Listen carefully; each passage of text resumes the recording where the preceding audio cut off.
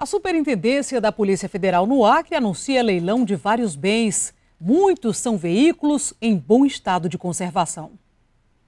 Ao todo serão 47 veículos, a maioria caminhonetes. Elas foram usadas em operações e agora estão sendo leiloadas. Essa daqui, por exemplo, tem apenas 20 mil quilômetros rodados. Outras precisam de manutenção para poder rodar novamente. Além dos veículos, a Polícia Federal está leiloando barcos, ar-condicionados e computadores.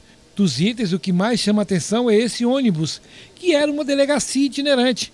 Na parte interna tem tudo que uma casa possui: quartos, cozinha, banheiro e sala.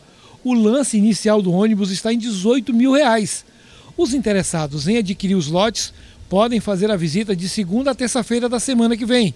No dia 3 de novembro será realizado o leilão. É um leilão administrativo, do tipo maior lance. A visitação será nos dias 31 de outubro e 1 de novembro, agora segunda e terça, aqui no pátio da, da, Polícia Federal, das 8 às 17, sem intervalo.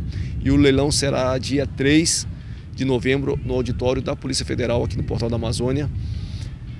E pode participar pessoa física, pessoa jurídica, só que o, a aquisição dos bens, o arremate dos bens do leilão tem que ser em dinheiro ou cheque. Quem adquirir um dos lotes vai ter que pagar na hora ou em cheque mas só resgata o bem quando houver o desconto no banco.